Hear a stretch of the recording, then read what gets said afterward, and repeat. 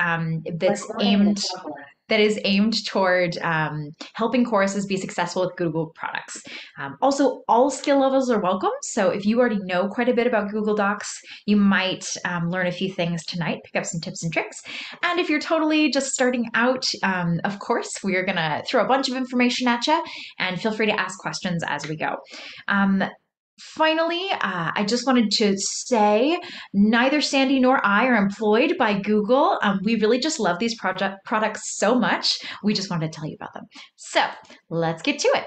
Um, before we dive in and tell you more about ourselves and Google Docs in general, we would like to get an idea of where you're at with them right now. So I'm going to go and launch a poll.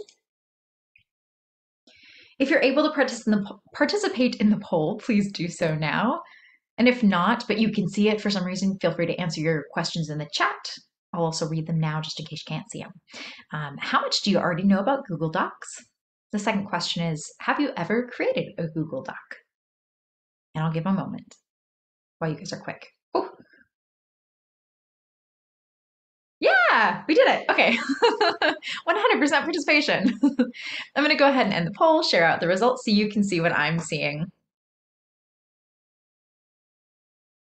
Okay, so it looks like um, nobody here feels like they are an expert with Google Docs, but we have um, lots of people in both categories of not knowing anything at all and having kind of a vague understanding of what Google Docs is all about.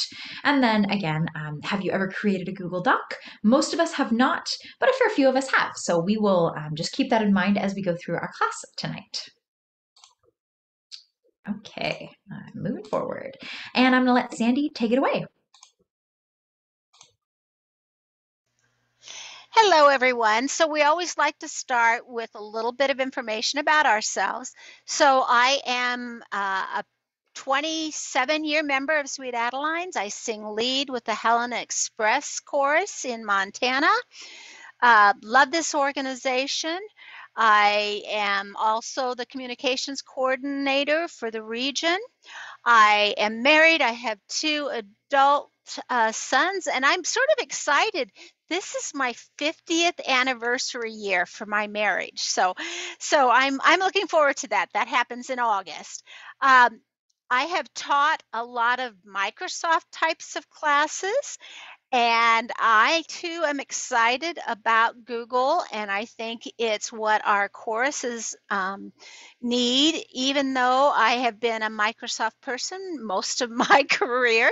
And hopefully, after you go through some of our classes, you'll understand why both Rachel and I are excited about it.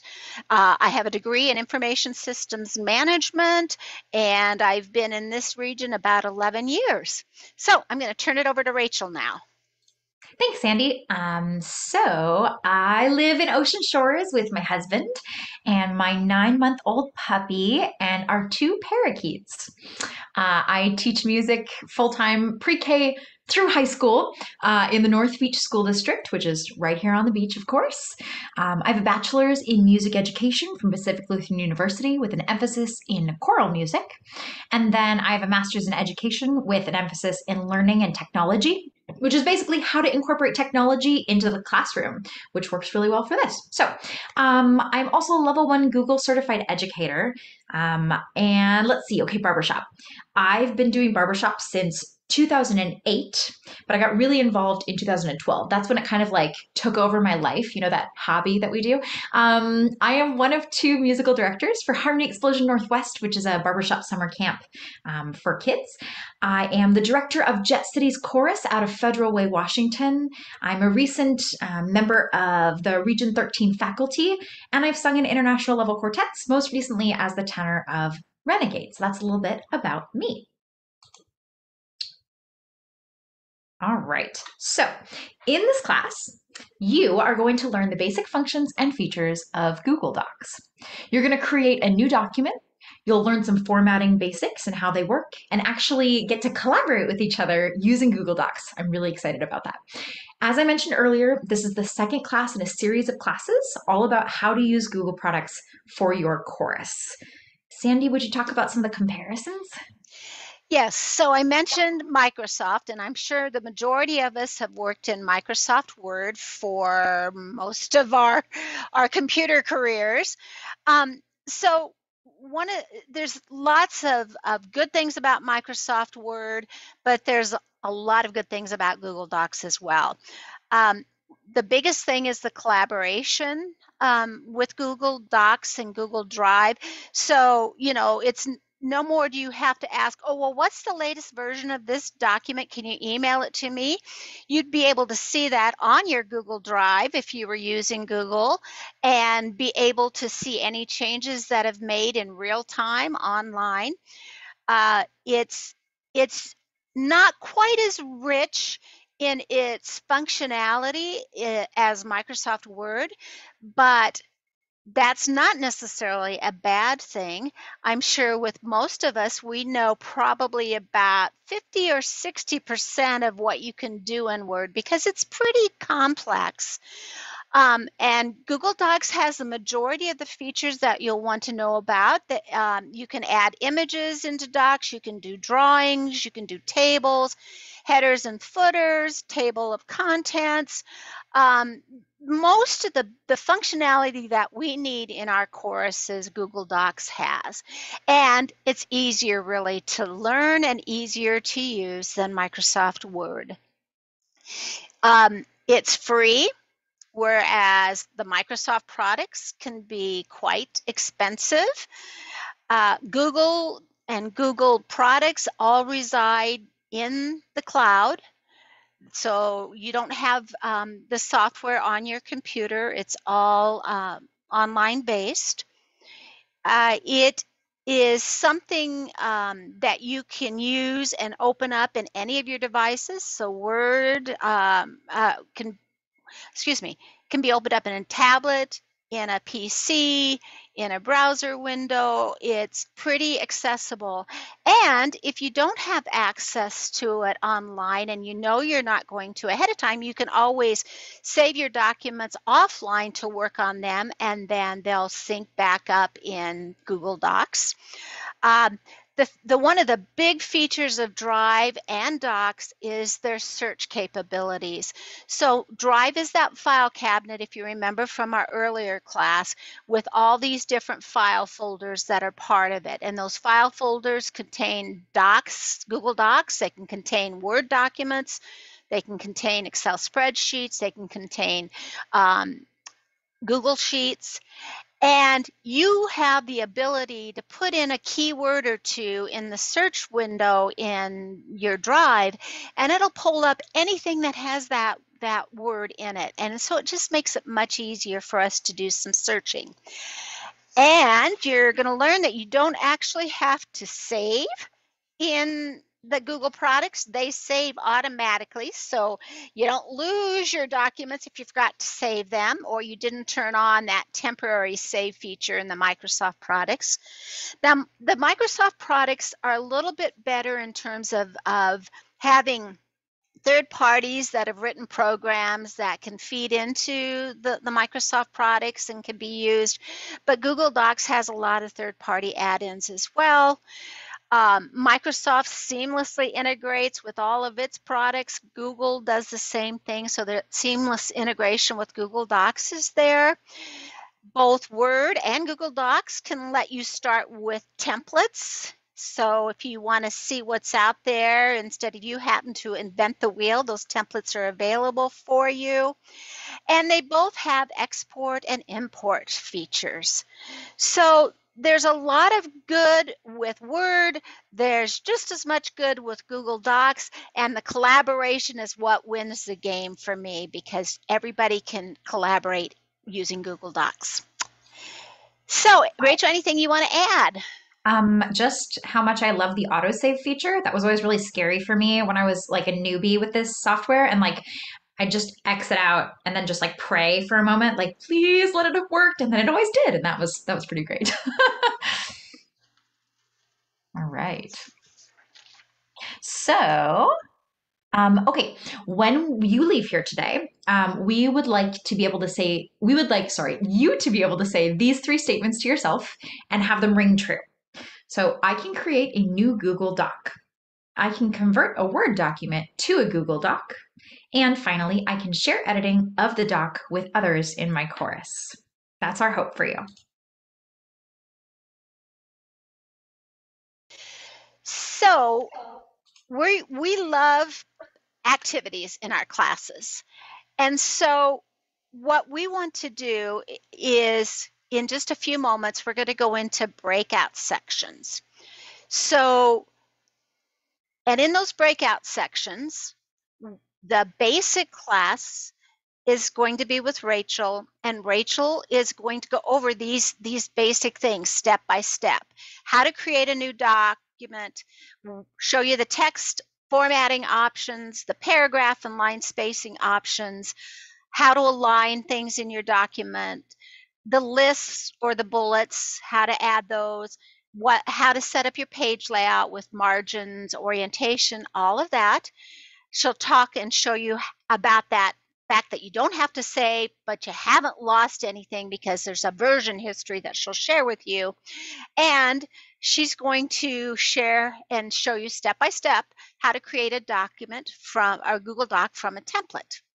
In the more advanced class, which if you feel you are advanced and you can help volunteer and do and learn how to do these things actually online with our group, you can put in the chat room that you think you want to participate in the advanced class. And so we're going to do a breakout, and those in the advanced class will be with me. I won't so much be doing step by step. And Rachel, you can go ahead and change to the activity slide if you want.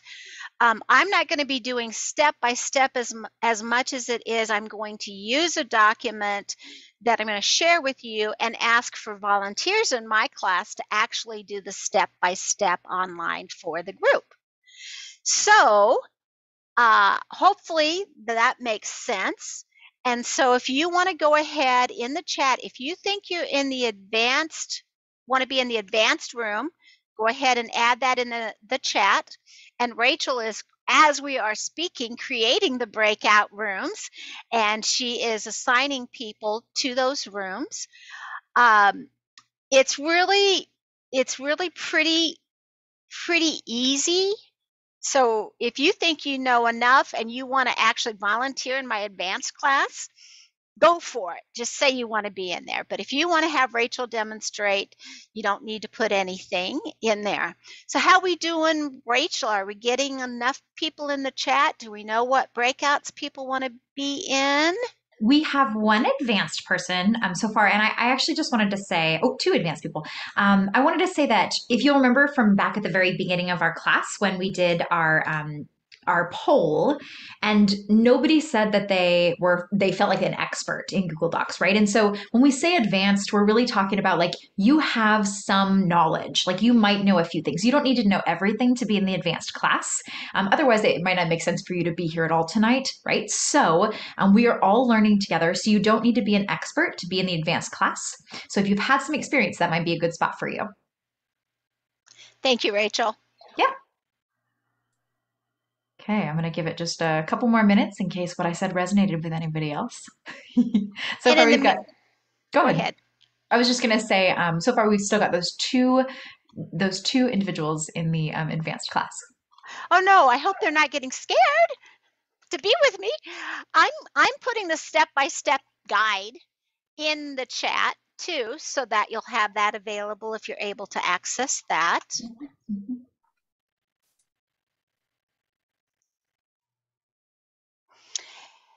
And if we don't have a lot of people that want to be in the advanced class, you know, Rachel and I are very, very flexible here. So what we might do is not do a breakout and let Rachel do step by step and then ask for some volunteers to try some some of the things that we mm-hmm. just taught. So that sounds great. I think we should Thanks, Rachel, for being flexible. oh yeah, of course. All right, let's do it. Okay, I'm gonna just change everything about my screen here, so hold on a moment. Thank you for your patience. Dun, dun, dun, this, no, that one. Yeah. Okay.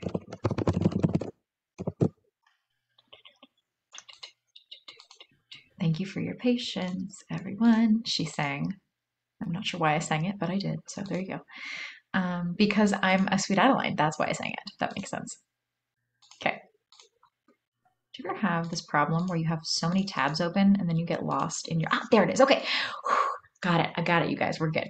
So I'm going to go ahead and um, start by sharing the step-by-step guide, um, and we'll just kind of walk through it together. So, um, so this is just going to basically take you through the Google Doc specifics. Um, I'm going to start with how to find it. Um, oh, okay, hold on. Let me really quickly make sure this is available to you.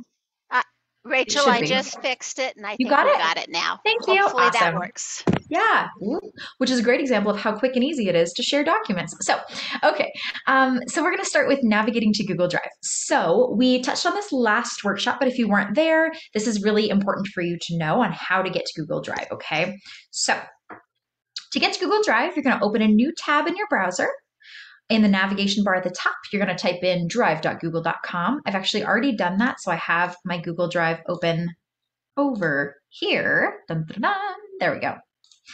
Next up, um, you're going to navigate in your drive to wherever you want your Google Doc to exist.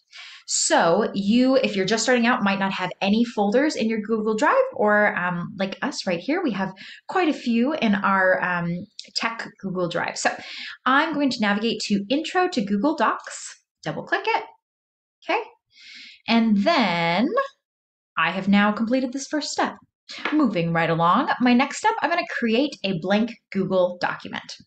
So in order to do this, I'm going to find the New button right here, click on it, and you can see I can actually create a bunch of different things if I wanted to, but right now we're going to focus on Google Docs. So I can just click right on Google Docs, and in a new tab, as if by magic, it creates a document. So, so that's what I've done. I've created a document, and now I have access to it. So as soon as I start editing this document, then it will actually, oops, wrong tab, automatically start showing up in this folder that I created or that I navigated to rather.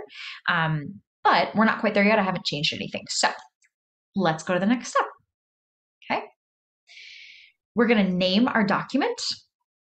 In the upper left corner, that's where the text box is going to be. We're going to click on where it says Untitled Document and we're going to change the name. I'll take name suggestions in the chat if you've got them. What should I name my document?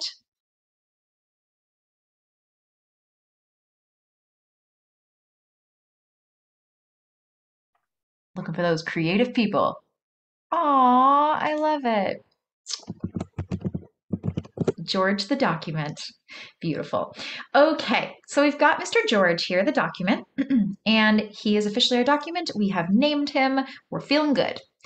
I'm going to move on. Okay, so you might now, if you um, have ever in Microsoft Word created a document and done a bunch of work on it and then forgot to save it and then it got deleted or something weird happened, you might at this point um, already be thinking, how do I save? File, save, file, save, but there's no save button, right? And that's because it automatically saves. And you can actually check this, um, this little cloud here with a check mark in it. If you click on it, right up at the top, it says all changes save to drive. So if you're ever feeling nervous, you can always check there. I'm gonna go back into my file where it actually lives, and you can see George the file is currently in that file where I navigated to in the beginning. So that was successful.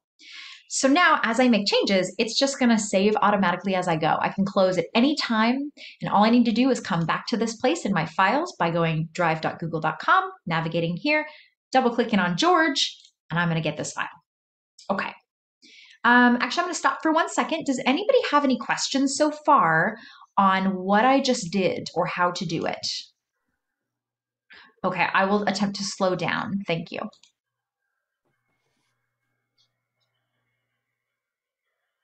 Okay. Um, oh yeah, Janice, go for it. When I when I work in Word, I usually save my documents both as a Word file and as a PDF file. So Mm-hmm. how would you do that in Mhm. uh, Google So Docs? yes, so I can actually get back to that a little later. I think Sandy, are you talking about that later today? I will, yes. Okay, so so nearer to the end of our workshop, Sandy's going to go over those export options, which are super important. I totally agree. Okay, so let's go ahead and move forward with George. We are now going to format our text, right? Something very common and very necessary. So back in George, I'm actually going to sneak out of George here and instead go to my formatting example. Super uh, important example here. Okay, so I can do several things here. I've got uh, basically a formatting bar up here that can do um, the main things that you would see in Word. Um, Sandy, can you catch the unmuted person? Thank you. Um, okay, so I'm going to start with changing the font. Okay, so in order to change anything on the document, I just need to highlight it. And then up top, you can see it's got a font right here. Um, and it actually also says font when I hover over it. That's a really helpful feature. So I'm going to click on that. And then I have a whole bunch of choices. I can actually download more of them, but I'll just stick with these for today. And I can change my font. Okay. I can also change the size of the font right next to it, make it smaller, or make it much bigger with the pluses and minuses, plus and minus. Um, alternatively, I can just click where it says font size right on the number, and it'll bring up a menu of options. Last way, I can click and I can type in my, uh, my choice and hit enter, and that will also change the size of my font. Um, in order to bold, italicize, or underline, again, you need to select part of your text, whichever you want to be changed, and then you just click bold, or you could click to italicize, or you could click to underline, or of course, you can get crazy, do all three. Ta-da! Okay. you can also change the color of the text and the background. So I'll show you what I mean by that. Text color is located right here. You would click and then you could change it, let's see, to a new color. Okay. You can also change the background color with this button right here, the highlight color, by clicking and selecting. That one didn't show up very well. Let's pick a more obvious color. There we go. All right. so we just covered, let me go back to my step-by-step -step guide, the font, the font size, the additional text options, including text color and highlight color. Now we're going to move on to aligning or justifying our text. So right now, this text is in left justification. So I'll show you what I mean by that in a moment. Um, but basically, when I select my text, I can shift it, right? Just like you can in Microsoft Word. So in order to do that, I click on the Align button, which is right here. Currently left aligned, I can center align it. So now the whole thing's centered. Or I can right align it. Okay. Or finally, I can justify the text. So justifying the text, in case you don't know this, um, is where basically all of the full lines of text are, you make them equal to each of the, the borders of the page. So you can see if I took a ruler and like made a line here, all of these words mostly line up. And on the other side, they do the same. If I just left justify this, put it all to the left. Now that's true on the left side, but on the right side, the lines are kind of all squeehaw and whatnot. So that's that's what justification does. Okay. I'm going to go back to my step-by-step -step guide for a moment. There are examples of all of these things and a clear how-to in here. So if I'm going a little fast or you're still feeling confused, um, I encourage you to go through this a little bit later and kind of play around with it. Okay, spacing is next. So the spacing is this button right here. Okay, there are a ton of options. I'm just going to go through a few of them. I'm going to basically just go through the top part here. So when I select my text, it's important to select your text so it, it applies. And then I click on the spacing. I can change how far apart each line is. So if you needed it to be double spaced, right, you can easily double space it by clicking here and then double. Alternatively, I could do single space or something in between. Okay, so that's that option. I can also add space after or before a paragraph. You can see here I have two paragraphs plus the header. If I add space after the paragraph, it just put a little little section there between, right? To just help my formatting be a little bit more clear. Okay. So that is spacing. Um, this is one of my favorite things about um, about Google Docs. And I know that Word does something whoop, Word does something similar, but I'm not sure if they have the bullet point the uh, no sorry, the um the checklist feature. So Sandy, you would have to you would have to inform me on that. Do you know? They they do not without going into one of the special ribbon elements um, and see. creating that as a form. So Yeah, okay, okay. So I'm just gonna make a list here. Um, what do I need at the store? Milk, eggs, um, cream cheese. Um, I need um, um, lettuce. Yeah, perfect. Okay. That sounds like a terrible. Well, maybe not that bad. I was thinking if I just threw it all together in a meal. I mean, not my favorite. Anyway, off task. So, um, right up here, you can make these into a checklist. I love this feature. I love checklists. So I click the checklist button with my text highlighted, and you can see it's put little boxes next to it. But that's actually not the cool part. The cool part is that I can interact with these boxes by clicking on them, and it crosses things off my list, which is very satisfying. Um, alternatively, if you wanted to go the more traditional route or your project called for it, you can create bullet points. And again, this is right next to the checklist. Okay, there's a drop down arrow. I can click here and I have a whole slew of options. So I just picked the simplest one, but of course you could pick whatever made sense to you, whatever you wanted for your formatting. Um, or perhaps you're creating a numbered list, which is right next to the bullet. Numbered list, drop down arrow, and I have a bunch of choices. Or I can just click and it'll pick the first one. Okay. If I just click right here rather than the arrows, it just goes with the first option, which is usually the most common. All right, so that is my list format. Okay, and again, this document has all of these examples. I just kind of want you to see this and understand how we're traveling along. Um, next up, we're going to create, uh, actually, sorry, I want to pause for one moment. Does anybody have any questions about formatting text in Google Docs? Can you explain again what the justify is? Absolutely, yeah. So um, you'll see this in books actually a lot of the time um, if you start like noticing the way that your books are formatted. So um, when we have big chunks of text like paragraphs, right? If you have it left justified, what that is basically telling the program to do is on the left side of your screen, all of the words are lined up with the left border. So here's like the left border, right, of your page. So all the words are lined up there with the exception of the indents that are created with the paragraphs. Okay. I mean, I could take those out, but um, but on the right hand side, you can see that they're not these words many kittens, they, activity, that, and at themselves. It almost made a sentence. Um, are not at all lined up with this um, with this with this border with this boundary. So if I wanted my my words to be lined up with the right and the left boundaries, that's when I would justify my text. So I highlight the entire text that I want to be justified, click on align, and then when I click on justify, it now made it so that many kittens they activity are all aligned with my right border as well as that and at and themselves. The only thing that doesn't get aligned with your right border is the last um, line of any paragraph that you have.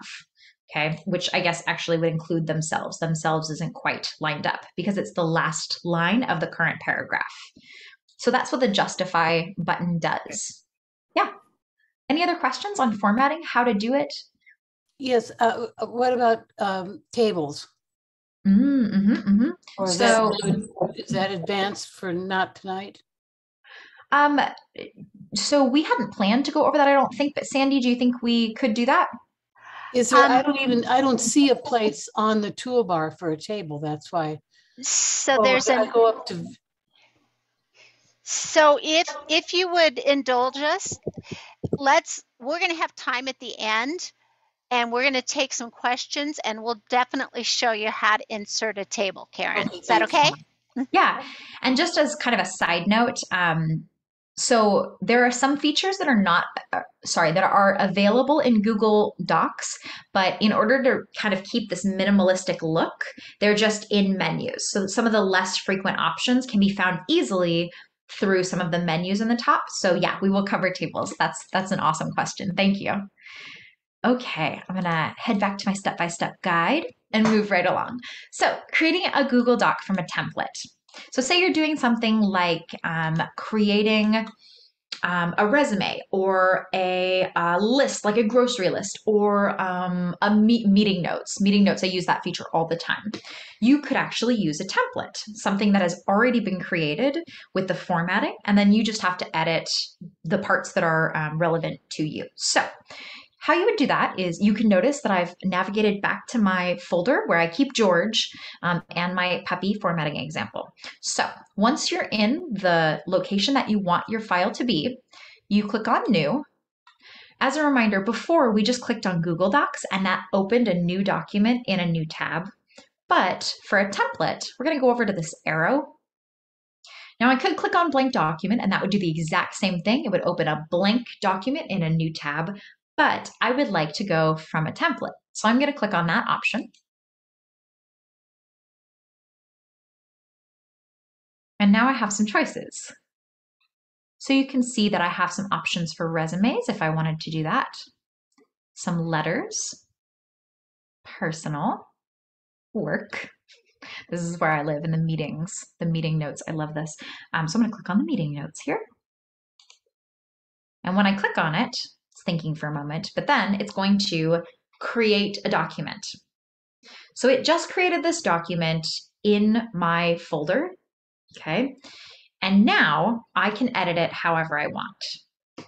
So um, I'm just gonna change the date here. Maybe I'll just change it up here just super quickly. There we go and I could I could edit anything on this page. In fact, if I don't like the formatting, I could change the colors and the size. It just gives me kind of a starting place. Um, and then when I'm done, I can just close it. And you can see that my meeting notes are in my file with George, safe and sound.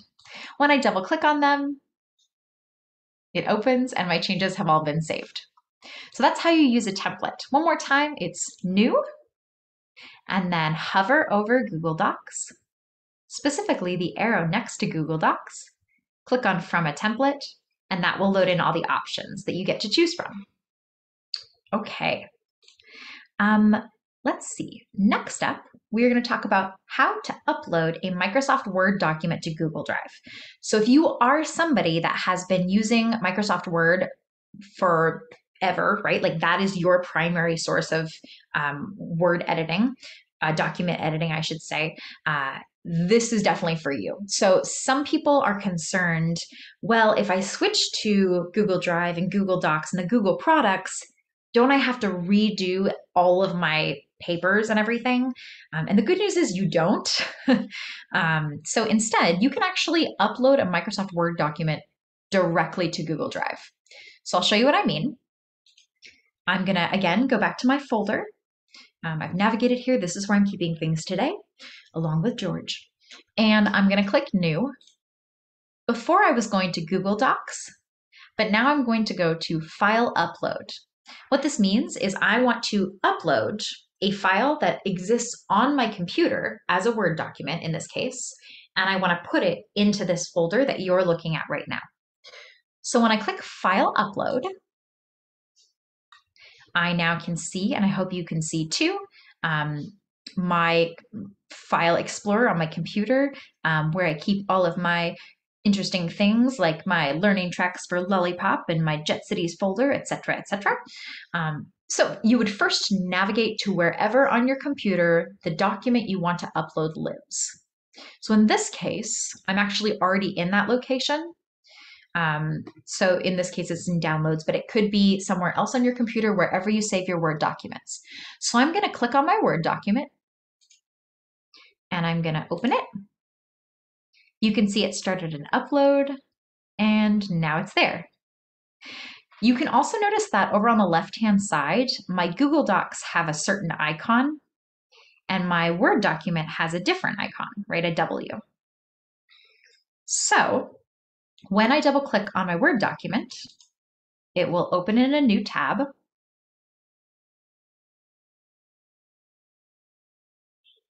And now I have my document here that I can edit. So if I wanted to just keep my document as a Word document, then I'm done. I could just do that, right? Like I can access it, others can access it, I can share it now, others can edit it. Like all of the things that are possible with the Google Doc are possible with the Microsoft uh, Word document in this scenario. Um, however, if for some reason I really wanted it to be a Google Doc too, like I just, I hate the different icons, I want them to all be Google Docs, you can make that happen. Um, you just click on File and then Save as Google Docs. And when you do that, it opened a new tab, but this one is now your Google Doc and the other one was your Word document. So when I go back into Intro to Google Docs, and again, remember, you don't have to change it from a Word document if you don't want to. It could stay that way and it would be okay. But when I go back, I've got to refresh my page because it hasn't updated. There we go. I've got one Word document that says Word to Google Doc example, which was my file that I uploaded. And I've got one Word to Google Doc example that is not a Google document. I can tell from, or sorry, a Word document. I can tell from the icon, right? So one of those was created into a Google Doc. They basically look the same, um, but that is that's the idea. Um, I did also want to mention that there's actually a setting that you can do that makes it so that when you upload a Word document, it automatically changes it to a Google Doc, just like that. So if you are interested in that, um, it is on my step-by-step guide. Hold please. Scrolling down. Yep. Okay. So here's here's my advanced tip. Um, this actually came from Sandy. I did not know this, and I was thrilled to learn it because I changed my settings immediately. so you can set up Google Drive to automatically convert Word documents into Google documents. Again, navigate to drive.google.com, which is where we've been spending our time. Then you click on the settings cog in the top right. Looks like this. I'll show you in a moment. And then in the convert upload section, check the box next to convert uploaded files to Google Docs editor format. So I'm going to take you through that process very quickly. Here's drive.google.com. Up in the top right, settings cog, settings, and I'm looking for convert uploads. I'm going to check this box. And now when I upload a Word document, it's automatically going to convert it to a Google Doc. So I don't need to go through that extra step. Quick reminder, you can also just upload as Word documents and be totally fine. But if for some reason you really want it to be a Google Doc, you have that option. I didn't see you click done. Uh, Did you, do you have to do that? you do have to do that. Yep. And what did you say was the benefit of immediately converting it to a Google Doc? The only thing that Sandy and I could think of um, was that if for some reason you just want all of your documents to be uniform, you want them all to be Google Docs and not Word documents, like if that's like a, just a personal choice, you have that option. I think at one point it did matter. There were some capabilities you could only get with a Google Doc, um, but that is no longer true. So I see we have some raised hands. I'm so happy to answer questions. Or, or Sandy, you could as well. Um, well, the other thing I want to mention related to that is there's really no harm in having your Word documents automatically convert to a Google Doc because in a little bit I'm going to show you that you have the ability to download Google Docs as a Microsoft Word document. So you can go back and forth between the two. And I saw Deborah's hand up. Deborah, did that answer your question or did It you still sure have a did. question? That answered my question. All right. And Sharon has her hand up. you said that other people can go in then and, and make changes to your documents. What if you don't want them to make changes to your document? So you are very careful as to what privileges you give that individual. You can allow them to edit the document or you can allow them just to make comments or suggestions, which Mhm. don't really alter your document. It just puts a little bubble out to the side and said, maybe you want to change it to this. And we'll show you an example of that too um, in just a few minutes. That's a great question. Yeah. And the, um, that kind of protection is document by document. You can actually do it by folders as well on Google Drive. It doesn't have to be document by document, but it can be. Yeah. Um, Janice, did you have questions? Oh, I bet Janice is waiting for us to get back to her. Okay, got it. Okay. Um, all right. And that is everything I have into this section. Um, I have a so just the basic. Yeah, go ahead. If, if, could, couldn't you end up with, I have hundreds of documents. So I don't want to convert all of them, all of my Word docs to Google Docs. Um, why would you- I want to do this at all? I guess is one of my questions. So ultimately, oh, Sandy, did you want to take it? No. Go ahead. Okay, you don't need to. At one point in time, I would have told you, well, because these capabilities are only possible with Google Docs. But at this point in time, there's no real reason. But if if you're also asking the question, why would I even put any documents out in Google Drive? Mm. It's it's because of the collaboration. And we are going to have an activity that you're going to see in a little bit that will show you the fact that this is great for teamwork. Um, Mhm. When you're working in teams, especially like in our chorus world, this can make your life so much better when you're when you're reviewing documents and you're wanting to make changes and things like that. So the main reason you want to consider Google and Google Drive and its products is because of the collaboration that it has.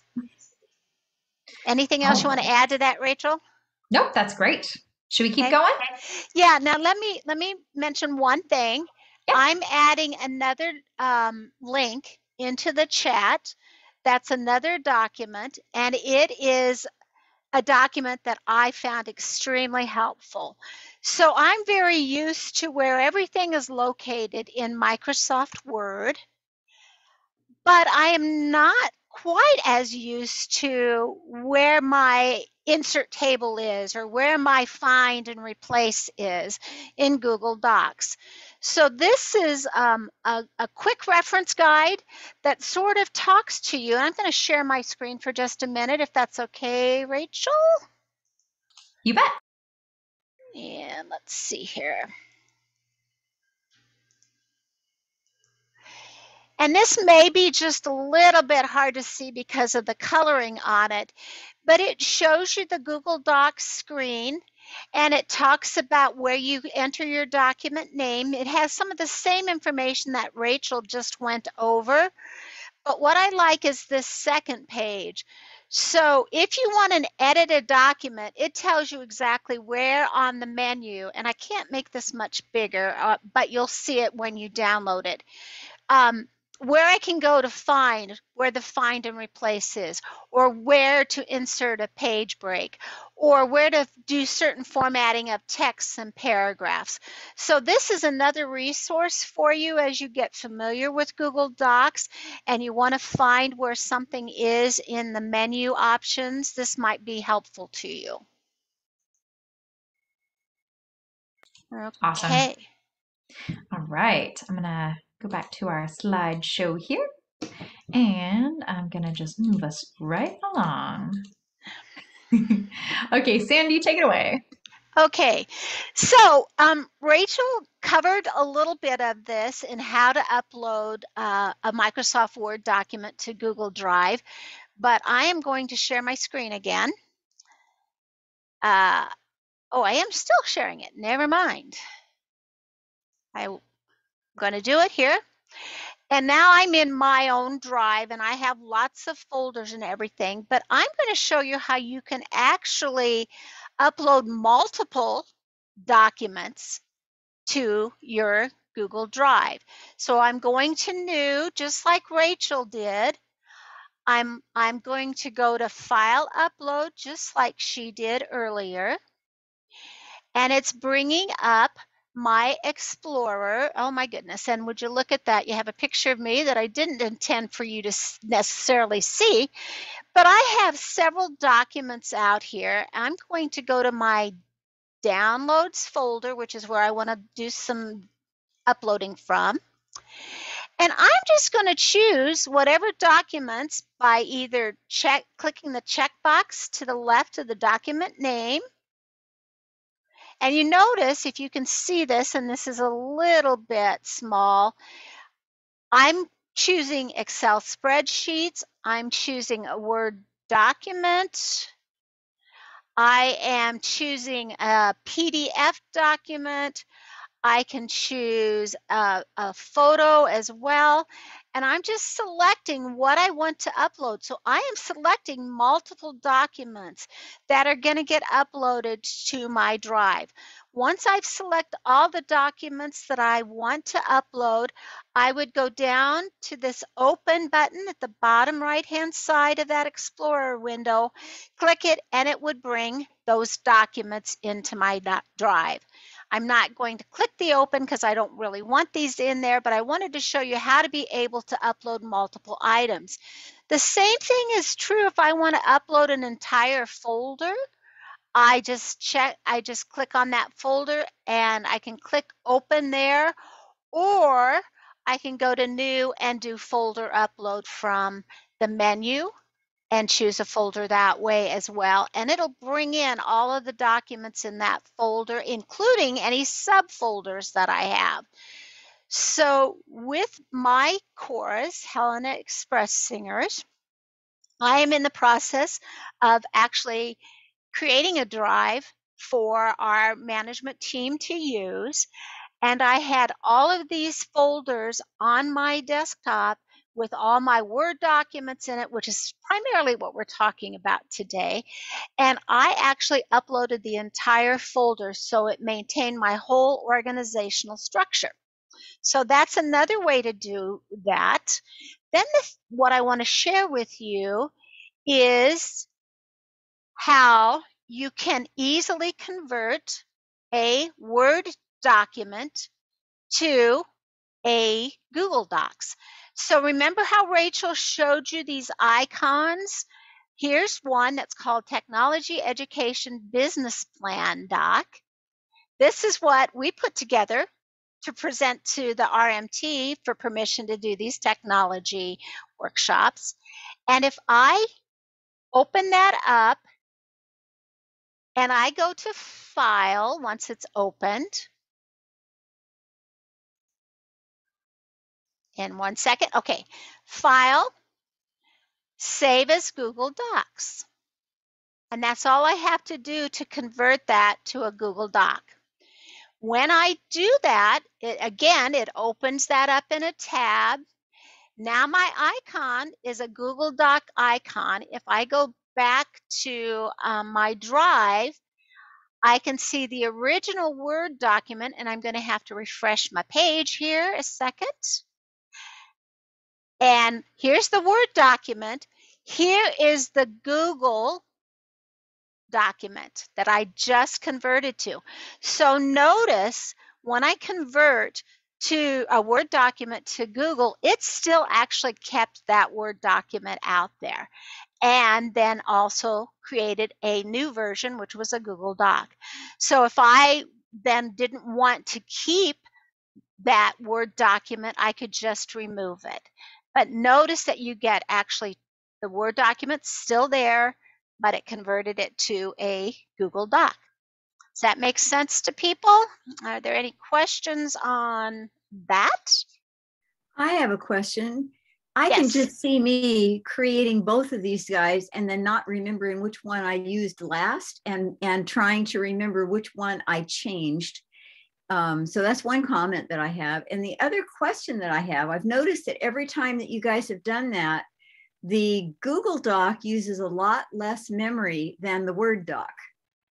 Correct. That's correct. Is there an advantage to that in your computer to having less memory in the docs? Well, remember that Google Docs are being saved in the cloud Ah. and you have Google Google Drive has the free version of that has so much storage. And so it's trying to be as efficient with that storage in the Google Drive as it can be. So it's it's not saving those those files aren't nearly as large. You can always expand your storage, but you can sort of see on my screen I'm working in a folder with expanded storage that I paid for, but the smaller the doc, the less storage you're using. That's basically, you know, what I'm saying. Word is saving those on your computer. They're larger files. They're taking up your your computer space. So, um, So, any Mhm.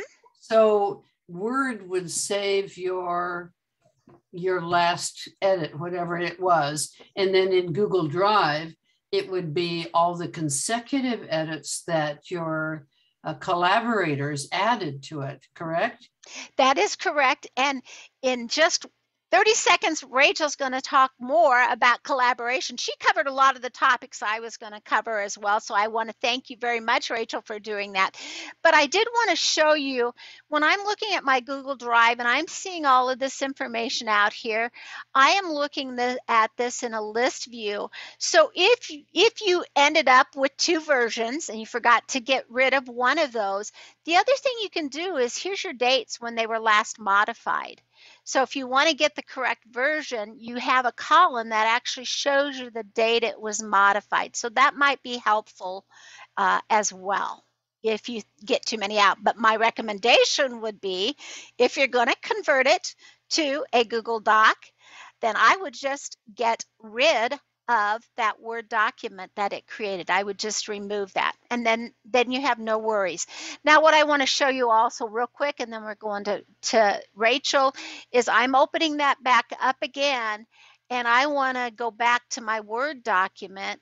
The way I would do that is go to File and Rachel, you might have a quicker way of doing this from your expertise. Whoops, I'm not sure what it just did, but let me go back over here. I want to go to File, and I can actually download, and this is getting to your questions, Janice, as well. I can say I want to download that, and I want to download it as my Microsoft Word document instead of the Google Docs. I could actually go to this open document format, which I've encountered people in my course that use it. And this is one of the beauties of Google Docs is if someone doesn't have access to Docs, but they use that free open source um, word processing, that's what this open document format is, that could be saved and then they'd be able to open it. They could open it up in rich text format. And Janice, to answer your question, you could download it as a PDF document and that could be saved to whoever, sent to whoever you wanted it to be sent to as well. Any other, um, any other things that you wanted to say regarding that, Rachel? Nope, you got it. All right, I'm going to stop sharing and let you go on to collaboration. Okay. Let's see here. That's the one I want. Okay, so um, specifically, I want to talk about sharing and then commenting and making suggestions. So, a lot of you have mentioned, or maybe even just been thinking about um, the stress of letting somebody else edit your document that you actually might not want to edit your document, right? So, how can they see it without um, maybe mucking things up a bit? So, let's talk about that. I'm going to do this. All right. So, I'm going to go back to my um, same folder I was in earlier where I'm keeping George, and I'm going to click on my sharing example here. Okay. So I just um, copy pasted a page from the SAI website just for an example here. Um, something we all we all know about. So uh, don't worry too much about the text in this instance. But going on, if I would like to share this with somebody, I hit the share button up at the top right. I'll do that again. Sorry, I think I went a little quick. So up in the top right is the share button. And I'm going to click on that. And then I've got um, this this menu of options, right? So, so I can share with an individual person. For example, um, I can share with like myself, my actual personal account. Um, so I could click on that, and then Rachel Pack would have editing privileges. So, okay, Rachel Pack is now an editor um, if I notify her, if I keep this checkbox on, then she will get an email that she has editing permissions. I could also type a personalized message here if I wanted to, or I could add people. Um, whoop, I don't know if I actually have anybody else in this address book just because it's a.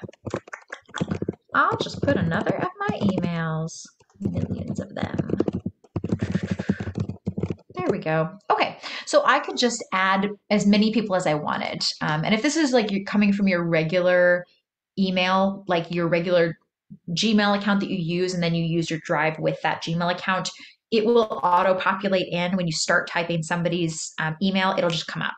Um, so, in any case, let's say I do not want Rachel to have editing privileges. That makes me nervous. Um, I want my document to stay exactly as it is.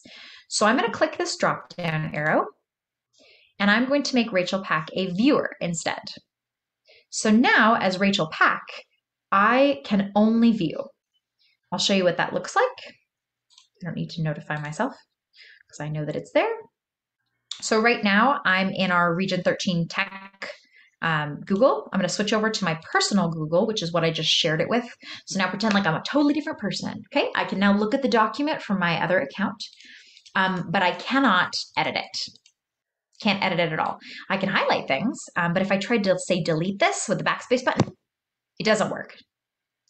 Um, what did happen is that Rachel forgot to change something and that changed that. Hold please. Okay, so there we go. So theoretically, I would be on viewer. There we go. Sorry, because I was practicing this earlier, it saved a setting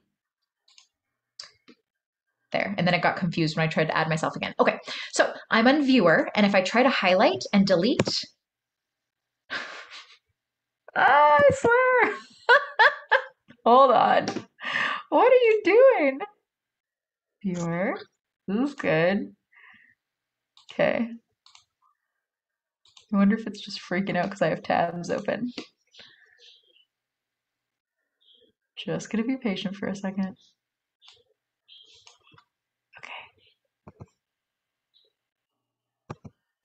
There we go.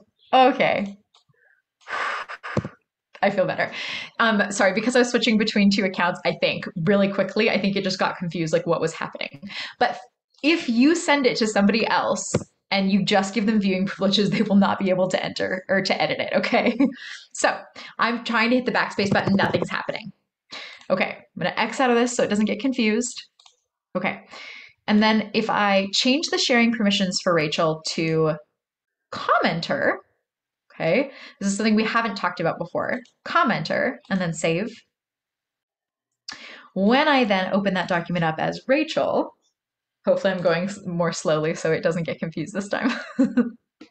oh, good. It says I'm suggesting. So now when I try to change things, let's say I'm looking at this document and I don't think this sentence fits here. I can highlight it, and I can backspace it, try to get rid of it, but it's not going to actually delete it. It's just going to show up as a suggestion to delete it. Um, I could also add something. Um, just add some text in there. You can see it's it's got that green marking around it. Okay, so when I go back to the original account, this is what you would see. So if you send this to somebody to comment, right, they've commented and now you see this. So there are the, like this is crossed out, this is added, but you can clearly see that there's suggestions. And over on the right-hand side, it shows you each of them, and you can actually decide if you want to accept or reject each, each suggestion. So let's say I'm just like, well, that sentence shouldn't be gone. I love that sentence. Then I could just reject the suggestion. But let's say I do want it to say the best barbershop singing. I could say accept, and it would become an official part of my document. Okay. Um, the one other thing you can do as a commenter is, well, comment, which you highlight something. And then up here, there's an add comment button. Okay, this is next to where our formatting tools are from earlier. Add comment. And then I can say, um, this sentence is amazing. Okay, comment. And now, again, from my original account, here's what I see. Rachel said that this sentence is amazing. Awesome. I can mark it as resolved and hide it. Okay. And now I would move on with my life. So that is how to share with one individual or a specific group of individuals, but you can also share with a group or anyone, I should say.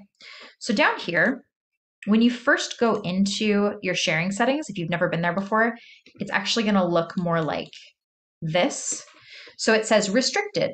Only people added can open this link, which means you can copy this link here and you can send it to Joe Schmo and his sister and brother and cousin and whatnot. But if Joe Schmo's name is not up here, he won't be able to open it. However, if Joe Schmo's name is up here, then he will. Okay, it's restricted access. You choose.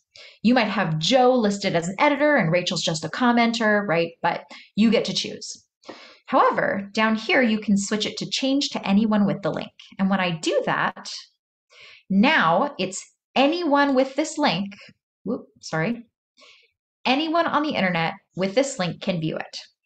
That doesn't mean everyone will view it, but what that means is when you hit copy link, now if you go and paste that into an email and send it to your whole chorus, everybody in your chorus has access to this. You don't need to type their names individually up top. Um, if I click change, just so you can see the other settings, right now all they can do is view my document. But again, if I wanted to send it to even put it on Facebook for everybody in the world to see it, right? I could switch it to editor if I was feeling really brave, or um, I could switch it to commenter. Whatever's whatever's good for your situation. You get to choose who sees your document and what kind of access they have to it. Okay, I think that's everything for this. Um, we have an activity, but we are pretty much at time. So, Sandy, do you want to jump to printing and downloading? And then if, if people want to stick around for the activity, they'd be more than welcome, but no pressure. Yes, that would be great. That sounds good. All right, so let me share my screen.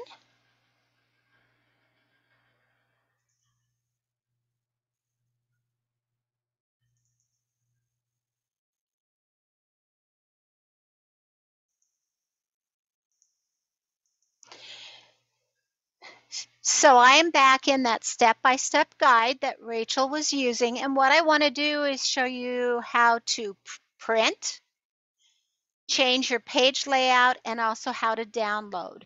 So if I wanted to print this step-by-step, -step, I would go to File,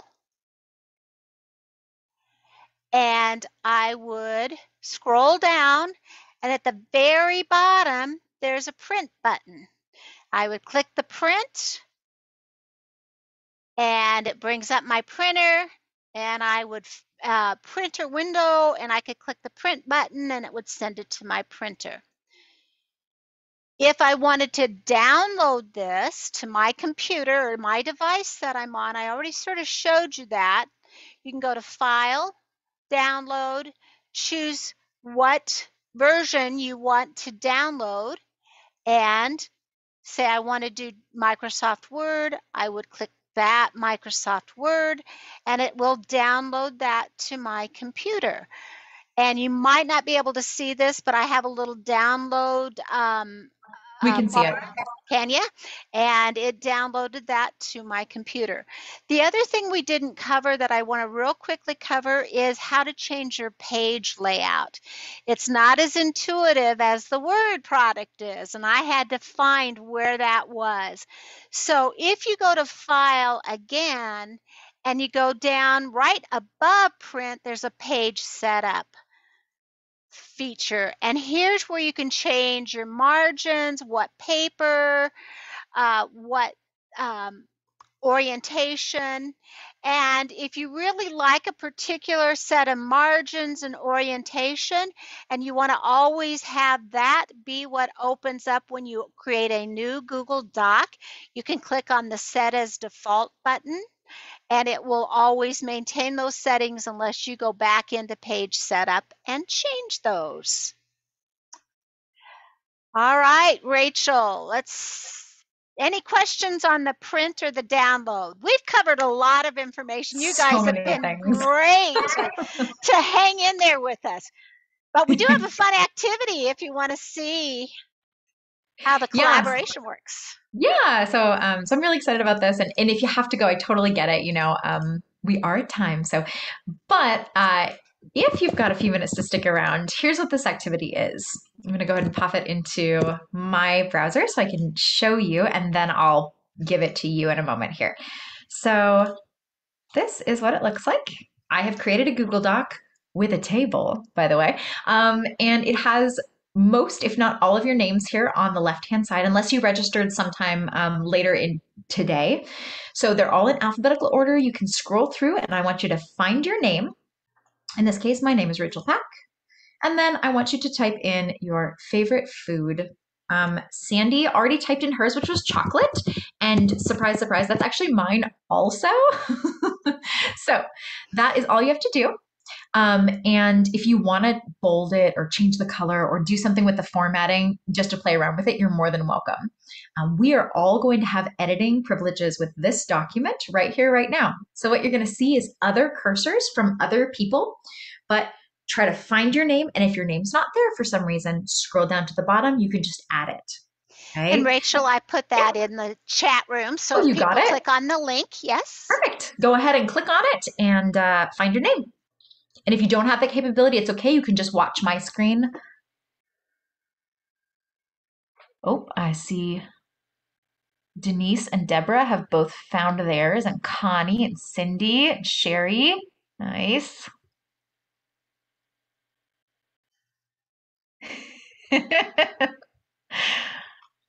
Hmm. I can't even get to my name. What am I doing wrong? Are you looking at your Zoom screen or are you looking Looking at at my Zoom screen. What am I supposed to be looking at? So your Zoom screen is is my screen. So I'll stop sharing for just a moment so it makes it a little less confusing. Okay. So, So where in- am I? So in the chat, Mhm. yeah. So in the chat, there's a link um, right at the bottom of the chat. So if you click the most recent link in the chat, it's going to open up that document for you in a browser window. Did that work for you? Yes. Good. Okay. So what I want you to notice, um, all of you, as you're editing, is, is you can see other people editing as well in real time. So this can be such a great tool for collaboration, right? Everybody on your team can make notes in the same document. They could actually make notes at the same time if you wanted them to. Um, or everybody has access, and certain people add on a Thursday night, and other people add on Saturday morning, and then your document's ready to go for your Sunday meeting, right? So there, there are really great capabilities of the Google Docs, and the collaboration that it provides, especially, is pretty awesome. So, um, Sandy, anything I missed on that? Well, if if people are looking at that document that we've been mm-hmm. putting our favorite food into, you see all mm-hmm. those different colored lines? Mm-hmm. Those represent the individuals that are in this document all at the same time and where their cursor is. So you can see the power of this because there's lots of people in editing this. Um, would you also just show them the version history of Yes. the document again? Absolutely. Okay. I'm sharing my screen. Um, so in Zoom, um, up top, ooh, is it view or is it file? It's file. Okay. So you can see who has changed what um, over time. So let's say I went to this document and I went, oh no, I didn't mean for anybody to add anything. What the heck? Ah. Um, and then I panic, but instead, I'm actually going to go File, Version History, and I can see the version history. So I'm going to click on that. And now I get to see all of the things that have changed. So today um, at 7:39, right? That's my current version. I can click on that and it shows my current version. Um, at 7:36, I can click on that. Um, it shows the current version then, so several things are not there anymore. Um, I can go back even further, right? uh, to where Sandy had chocolate and nobody had anything else, right? And I could actually reinstate this version if I wanted. Um, so up top, there's a restore this version button. If I click that, all of the um, things that have happened since January 21st at 3:28 p.m. don't happen anymore. Um, or you know, I could just hit the back button and go back to our version right now. You can also name versions. So um, if you have like a set of information that you want to to maintain and be able to find it easily, right? You could name that version, and then maybe at your next meeting, a bunch of other things get added to that document. Um, you could then again name that version if you want it. That's one feature that it does provide. Um, version dynamic preference. Huh. Um, so Jermaine, just make sure that you're in the that you've clicked on the link. So I'll stop sharing again. So if you're looking at your Zoom window, you can't edit it because it's it's my it's my screen that you're seeing. It's my cursor. But if I'm not sharing my screen, right, and you go to the um, the last link in the chat and click on that, it will open up your own version of it, and then you should be able to edit it. So let me know if that doesn't work for some reason. Um, Sandy, does that does that cover it? You think? I think so. And we have covered so much, but So much. I have your email addresses from registering. I am going to send all of you an email tomorrow that will have the step by step guide in it, the quick reference guide in it, and a link to the recording. Because chances are you're going to need to go back and watch this and pause it and say, oh, yeah, that's how I do this. And then start it up again and watch it two or three times at least. So we're going to stick around with to answer more questions for a while if you'd like. And I saw, Cindy, you have um, your hand up. Well, you sort of answered my question by saying you'll stick around because um, you were going to talk about tables Yes. for one of the other gals. So I just wanted Thank to remind you. Yes. So I'll go ahead and share my screen. Um, and I'm just going to keep this favorite foods document up. And I'm going to click down below that table that was there. And I'm going to go up to insert. And look at there. Here's where you insert an image.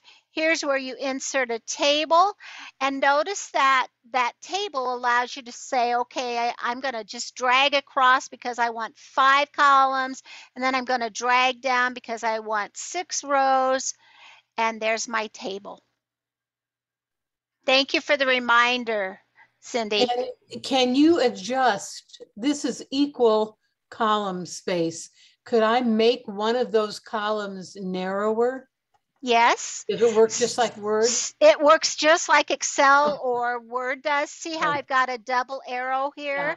I Okay. can just drag that to make it smaller and then it enlarge the one to the right of it. Okay. And actually, if you want to make adjustments to table, I don't know how many of you are right clickers. I use the right mouse button all the time. I just clicked using my right mouse button, and here's all of your things you can do with this table.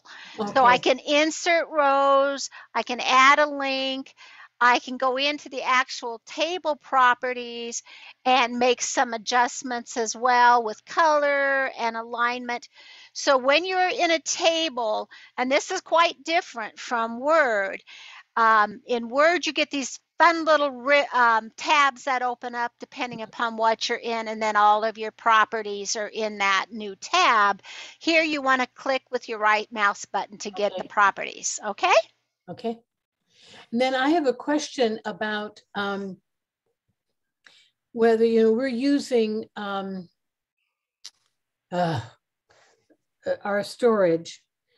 And I'm thinking this would be better to move all of our documents into uh, Google Drive for storage. But do you know uh, what what the breaking point is between free and when you need to start paying? And then how much you have to pay? It's, Do you know that off the top of your head, Rachel? it's 15 gigabytes, which holds a heck of a lot. So, um, so throughout the pandemic, um, I had my chorus members email me snippets of themselves singing, um, video recordings, audio recordings, and I was able to to get a ton of stuff in there. So, um, so I mean, you can hit the limit eventually. Um, I recently had to take some things out that I haven't used in years and years, but um, but 15 gigs does quite a bit. Yeah. Yeah. And your regional management team is using this, and we have several years worth of, of documents that we brought in. So we did increase the storage to 100 gig. It's a very nominal fee for um, that much storage. So, and and we haven't even begun to use most of it. And then how do you, I mean, is there a label to what it's called in storage? I mean, it started with one person email, keeping it there. I mean, uh, who, is there an owner to it or? so so somebody creates an account so in our case we created an account using a regional gmail address Okay, okay? And when you create that gmail account you automatically have google drive and all of the google products. The other thing i think i will send to everybody in this class is the link to watch the youtube um, recording of the google drive that that training that rachel and i did first because that talks about how google drive drive has all google has all these products and docs reside in Google Drive. Sheets, which is the equivalent of Excel, reside in, in Google Drive. And so I'll send that link out to you along with how to get to some of our other tips and tricks, because I think to go back to the basics might be very helpful too uh, of how that works. okay, thank you. Can I ask question? Uh, what Uh, Jermaine here, I'm sorry. I'm just wondering, I've got an apple. Am I, am I a, a salmon flowing in the opposite direction or what? You're on an Apple Apple computer, you said? Yeah, Um, I'm not sure how. Um, you know, Apple is a uh, makes great graphical and and computers used for graphical and marketing and things like that. Um, in the real world, more people are using Microsoft products or are using Google products. So I don't. I- would. I don't know how this would work on an Apple computer. To be honest with you, Rachel, have you had any experience with that? Okay. I have. So um so I don't know anything about like like whatever if there's like an Apple equivalent of a word processor like Microsoft Word or you know I don't know anything about how that um, works with Drive but what I do know is um, if you're an Apple user all you have to do is just follow the exact same steps as far as like um, you go to drive.google.com and then you can create documents and it all works the same way so um so at my last job I'm a PC user and my um, my um, colleague was a Mac user, and we had no problem sharing documents back and forth. It worked really well for us. oh, that's great. All right, thank you very much. I'm relieved. I, I have a question. Oh. Is it me, Judy? Yeah, go ahead, Judy. Sorry. When you were going through that list and we were writing our favorite name, our favorite foods, I wrote in something and then I was looking for my name and it disappeared. I didn't do anything. I didn't press enter. I didn't do anything. But when I went back and looked, and when you were showing the list, it my name's not there anymore. It's So, just- um, Rachel. Did it Yeah. happen at the time that she was switching between versions? I, don't I don't believe so. So um so here's my best guess. So um if so I, so I'm screen sharing the document right now. So if anybody came over to your name and highlighted it by accident and backspaced it, it got deleted. okay. So um so that is the the one um scary thing about right like having lots of people edit the same document is is people can touch different pieces of the document um, but that's really what that version history is for. So in this case since we were all editing at once it kind of the program kind of lumped those in together. Like we could go back five minutes but then everybody's work would be gone.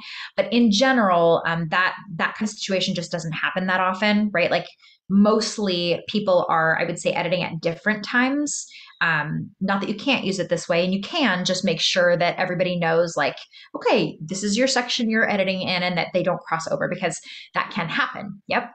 Yep. Shelley, you've had your hand up for a while. Can we Actually, I help think you? Jan- I think Janice had her hand up before me, so Oh. maybe ask her first. Janice, do you still have a question or did we answer your question? You're muted, Janice. I'm sorry. I don't know how the hand got up. I must have hit something by Okay. mistake. Okay, well, Um, that's okay. Nancy also put a question in the chat quite a while ago. Oh, okay. Um, My question is, um, several of the courses I'm involved in are using Groupanizer as a, basically a file cabinet for everything that we do.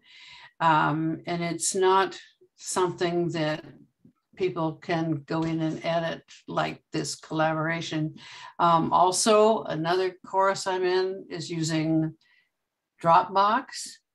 Um, yeah, so I, it's like, how, how do I compare all these different products and decide what is the best thing? And I think.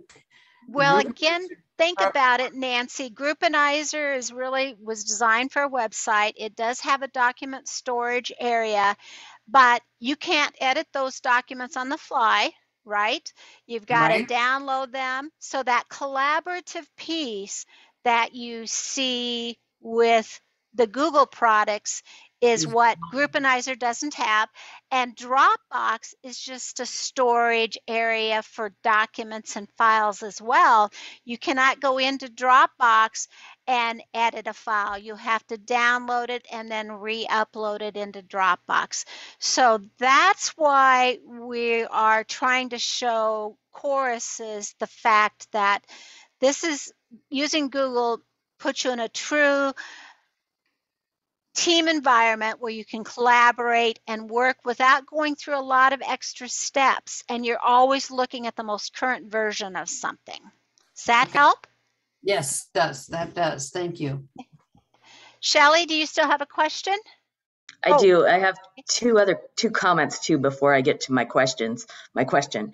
Um, one is similar to uh, for Judy who could who lost her name.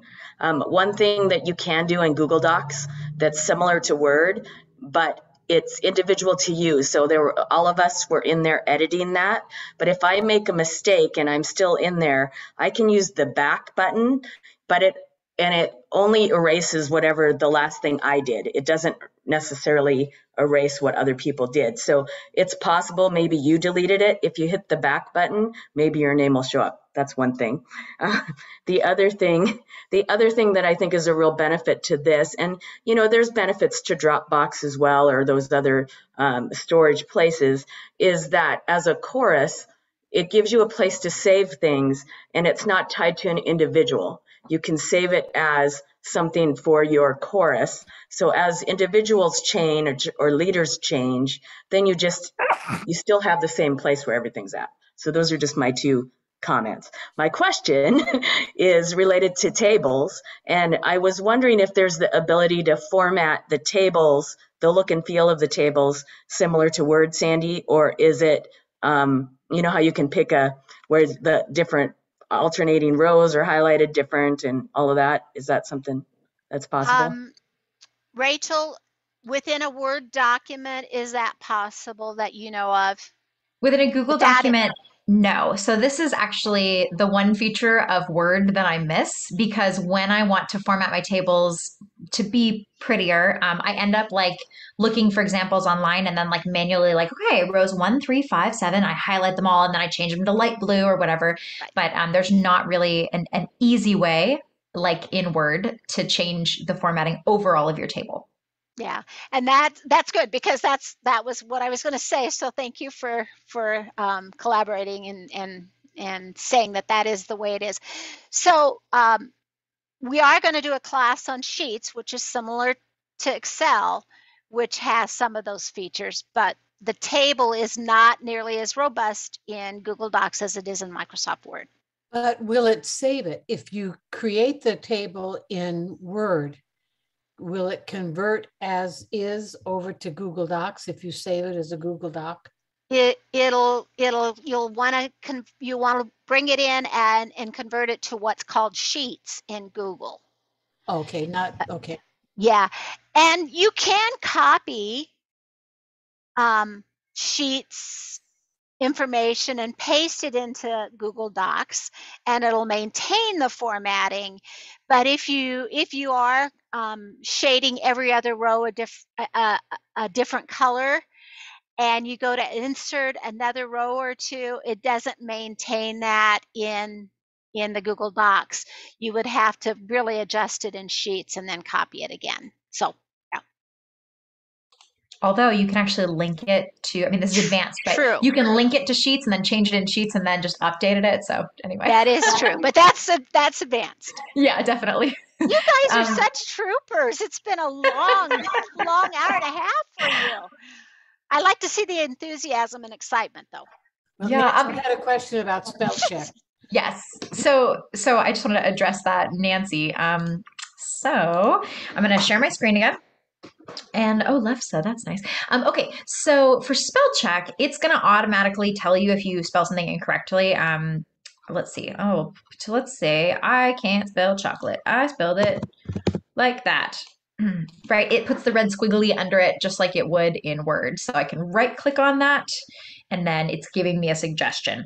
Um, alternatively, if uh, if I have my red squiggly, there's a, a spell check button. So up at the top left, next to the print button, print here, spelling and grammar check is right here. I can click on that.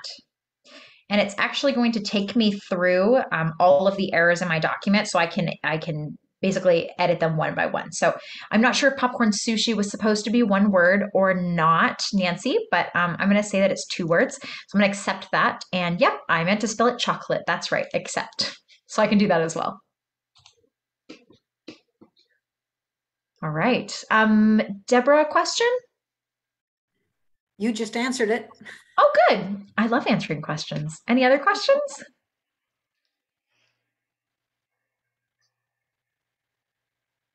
This has been great. Thanks, guys. Yeah, you're so welcome. Okay, watch for your emails from me next tomorrow. Goodbye. Thank you, everybody. Bye. Thank you. Have a good weekend. You too. Thank you. Bye bye. Many, many thanks. Great job. Bye. Thank you.